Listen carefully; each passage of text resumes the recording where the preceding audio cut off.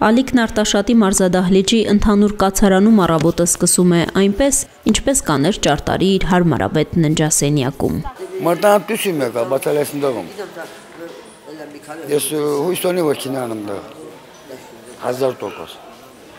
Ալիքն Արցախի տարբեր գյուղերից ու քաղաքներից բռնի տեղահանված շուրջ 100 բախտակիցների հետ արդեն ավելի քան 10 օր է բնակվում է գաղթականների այս կացարանում իրեն հատկացված անկյունը փորձում է հարդարված պահել։ Սպասում է, որ կացարան գտնի ու իր մի քանի տոպրակ իրերով տեղափոխվի այնտեղ։ Դա զասուրեշն դնա, որ վեշտի մոդոմ նայում, ասուդը գնեմ։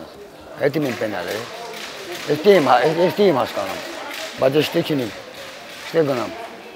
Մարզադպրոցի այս դահլիճի անմխիթար պայմանները ցույց տվող կադրերի տարածումից հետո Արտաշատի համայնքապետարանի աշխատակիցներն այսօր առավոտից գործի են անցել։ Այստեղ ապաստանած արցախցիների համար մշտական կացարաններ են փնտրում, նրանց էլ շտապեցնում են տեղափոխվել հնարավորինս արագ։ 4 հոգի կտեղավորվի եւ ինչքան է 200.000 Տների վարձակալության գները բարձր են։ Քիչ թե շատ բարվոք վիճակում եղածները սկսվում են 200.000-ից։ Ավելի էժանները բնակության համար պիտանի չեն։ 7 հոգով են։ Ես ու կինիս են տղաս կինը երեգեը։ Աները չակը դերին ասում այստեղ դուն գա, այնտեղ դուն կա, թայչ կոները ինչ այշ։ Գնում ես տունը նայան ջուր չկա, ես մի հարմարություն չկա, Մենք էլ չենք իմանում ինչ անենք։ Անծանոթ դեր Ճանապարհ չեք ճանաչում։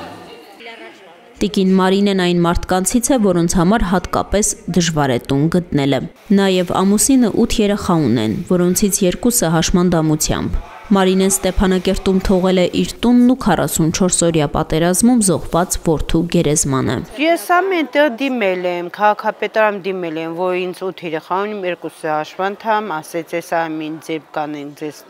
օգնություն ցուցաբերենք տանով։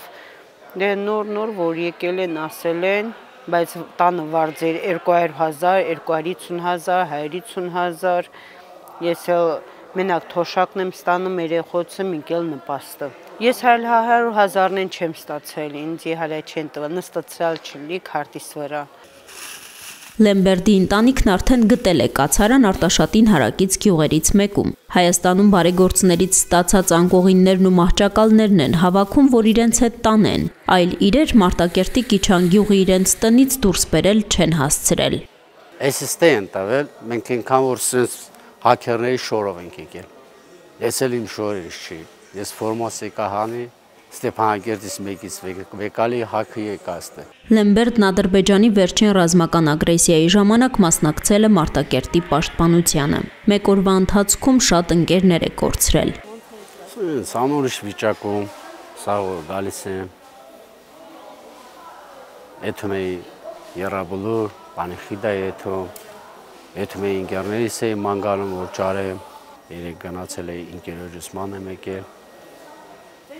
հերացանում գտել մորգում։ Տենց, որ վաղը բանի խիդան անենք հաջորդ օրնել հողարկավորումը կազմակերպենք դրան։ Այստեղ հավաքված գրեթե բոլոր արցախցիները կորուստներ ունեն, կամ պատերազմի, կամ դրան հաջորդած բենզինի պահեստի պայթյունի հետևանքով։ Դա եկել ենք այդ օրը մնաց Ստեփանակերտում, ամին օրը պայթել է։ Հենց մեր գյուղացի ջայլ տղա մահացավ բեր բալեցան մահացավ, իմ եղբորը աղջիկը մահացավ։ Արտաշատի մարզադպրոցում տեղավորված արցախցիներին առաջին անհրաժեշտության ամեն ինչ տրամադրում են՝ սնունդ, հիգիենայի պարագաներ, բայց չվերանորոգված այս դահլիճում տակություն հեշտ չէ ապահովել։ 65-ամյա մարտունեցի Զոյան ցրտից հիվանդացել է։ Ժամանակելուն որ ցուրտ քամի է փչում, թե դրանից հետո ինչ տակություն եմ տալիս։